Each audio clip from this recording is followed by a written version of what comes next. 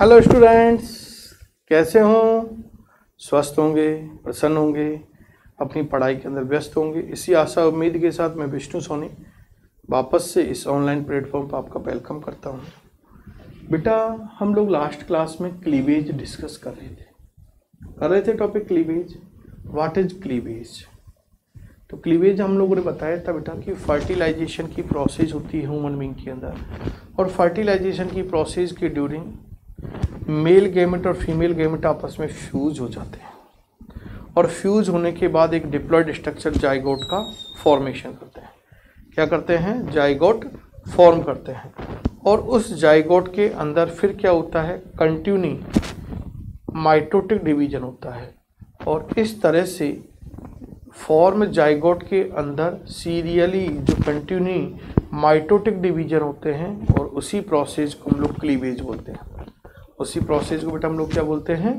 Cleavage बोला जाता है। अब बेटा क्या होता है? क्लीवेज की प्रोसेस जब हो गई तो उसके बाद हम लोग आगे देखते हैं कि मोरूला स्टेज आती है। कौन सी स्टेज आती है? मोरूला स्टेज आती है। तो नेक्स्ट आपका आज की इस क्लास का जो टॉपिक है, वो है आपके मोरूला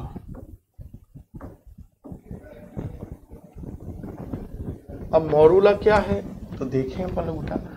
समझें? सबसे पहले हम लोगों ने अभी जस्ट कहा है कि बेटा जाइगोट बनेगा फर्टिलाइजेशन की ड्यूरिंग अब इस जाइगोट जो बना है, आपके ये डिप्लॉयड होता है। इस जाइगोट के अंदर बेटा कंटिन्यू आपके कंटिन्यूसली क्या हो रहे हैं? माइटोटिक डिवीज़न हो रहे हैं। और माइटोटिक डिवीज़न के आफ्टर आप लोगों के मैनी सेल्स का फॉर्मेशन होता है मैनी सेल्स फॉर्म और जो बेटा बनती हैं, ये सेल उन्हें कहा जाता था आपके ब्लास्टोमियर और इन्हीं सेल का जो ग्रुप्स होगा, यानी ग्रुप्स ऑफ़ ब्लास्टोमियर क्योंकि ब्लास्टोमियर तो ईच सेल थी मेनी सेल की। और इसका जो ग्रुप होगा group is known as the morula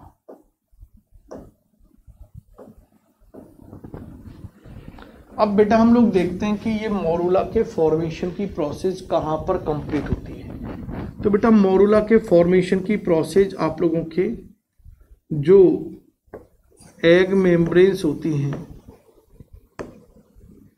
उन एग मेम्ब्रेन के अंदर संपन्न होती है। इट मीनिंग जोना पेल्यूसीडा, एक अपन लोगों ने देखा था। पेल्यूसीडा।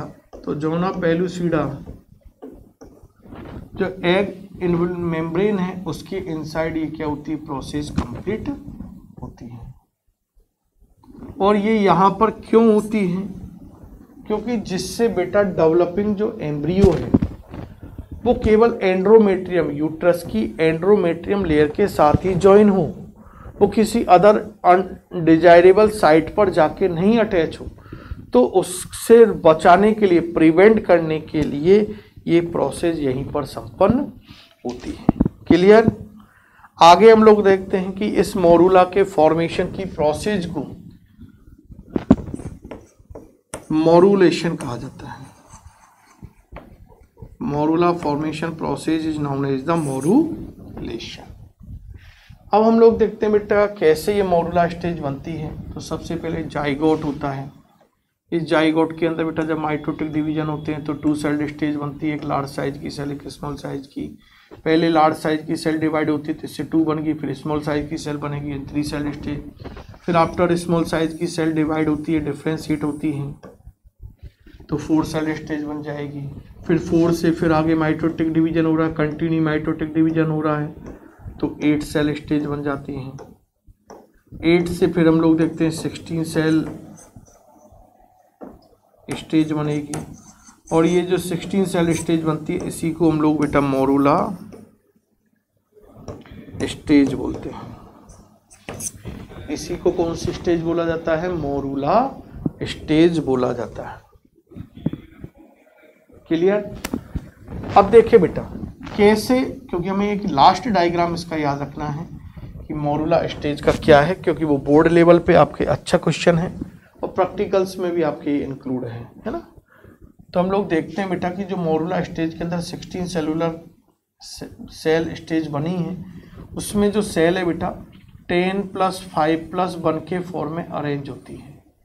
टेन आउटर लेयर के फॉर्म में बनती है।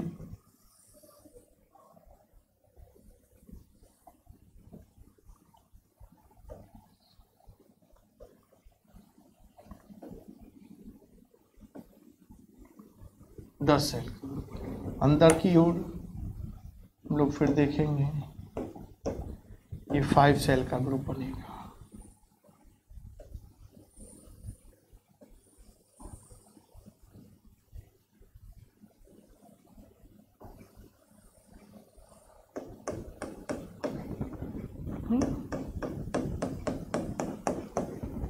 और फिर इनर साइड बिल्कुल एक सिंगल सेल बन जाती है। ना? और ये पूरा का पूरा जो आपके, क्योंकि ईच सेल क्या कहलाती है इसकी बेटा? ये ईच सेल ब्लास्टोमियर कहलाती है। And each cell of morula is known as the blastomere तो ये ग्रुप है। 16 सेल का ब्लास्टोमियर का ग्रुप है मोरुला स्टेज और इसमें जो सारी जो ब्लास्टोमियर की जो सेल है बेटा एक इनवलप से सराउंड होती है। इनवलप है इस तरह से आप देख सकते हो।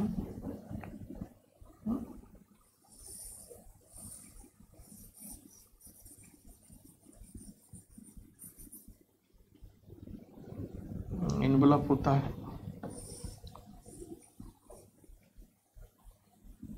और इसे कहा जाता है बेटा, जोना पेल्यूसीडा और ये है आपके क्या है मोरूला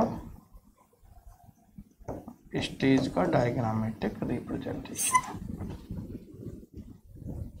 क्लियर? अब बेटा यदि अपन लोग इस स्ट्रक्चर को देखें तो ये हमें एक solid wall like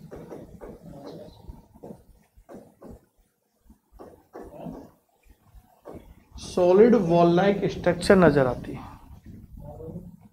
क्या आती हैं? सॉलिड वॉल लाइक स्ट्रक्चर नज़र आती है। देखिए फुटबॉल की बॉल आप लोगों ने कभी देखी होगी। तो उस फुटबॉल की ये इस तरह की बॉल होती है ना तो उसमें इस तरह से ये हम लोग देखते हैं ना पार्टीशन से आते हैं इस तरह से। तो ये पार्ट ऐसे हमें इस तरह की ये स्ट्रक्चर नज़र आती है पूरी। ना? तो ये याद रखना है।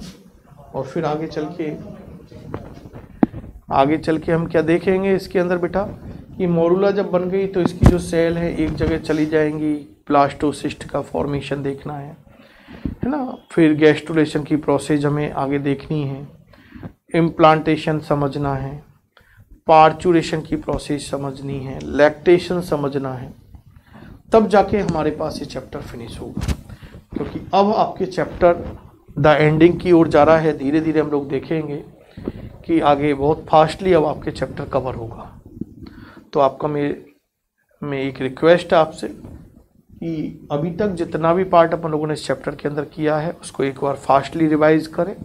क्योंकि यदि वो पार्ट आप लोगों ने बेटा फास्टली रिवाइज कर लिया तो इस क्लास के बाद जो हम लोग नेक्स्ट मटेरियल करेंगे कवर नेक्स्ट टॉपिक जो कवर करेंगे वो आपके बहुत अच्छे स्ट्रांग हो जाएँगे। क्लियर तो आपको ये काम करना है कि जितना भी हम लोगों ने पढ़ाया है उसको एक बार दे देखें। यदि कोई एनी डाउट हो उसके अंदर तो उसको क्लियर करें। क्योंकि आपको अच्छा रिज़ल्ट भी लेके आना है। हाँ, जितने भी आपके टेस्ट अब आने वाला उस टेस्ट के अंदर भी सिलेबस प्लान में ये है आपके। तो उसके अंदर भी आपको उस लिए भी ये देखना है तो ये डायग्राम आपको याद रखना है. Clear thank you good night